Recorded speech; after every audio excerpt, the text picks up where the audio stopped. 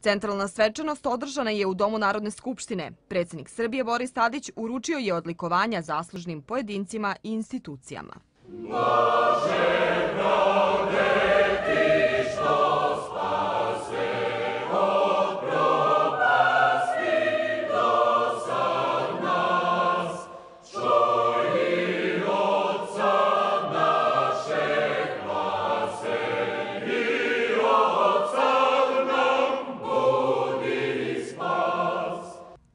Izložbom Ustavi Kneževine i Kraljevine Srbije u Domu Narodne skupštine otvorena je centralna manifestacija obeležavanja Dana državnosti.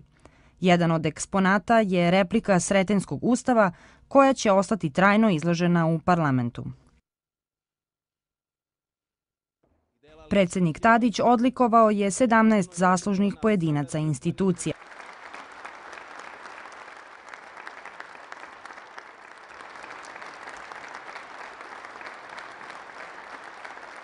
Najboljeg sportistu sveta tenisera Novaka Đokovića za naročite zasluge u predstavljanju Srbije predsednik je odlikovao ordenom Karadžorđeve zvezde prvog stepena.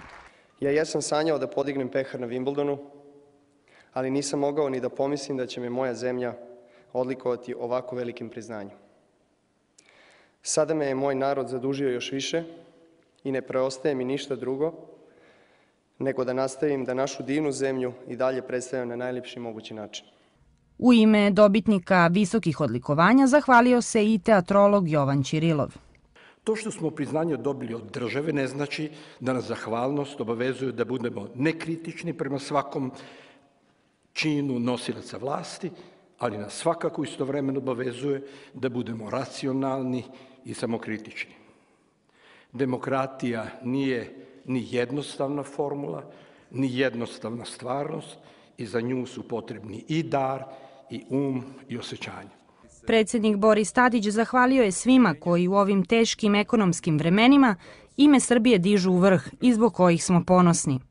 Zato je dan državnosti i dan ustavnosti Srbije praznik svih građana Srbije, kada sa ponosom možemo da se podsjetimo slobodarskih tradicija srpskog naroda, ali istovremeno sa velikim nadama upremo pogled u naš zajednički Balkan, prostor mira i našu zajedničku evropsku budućnost.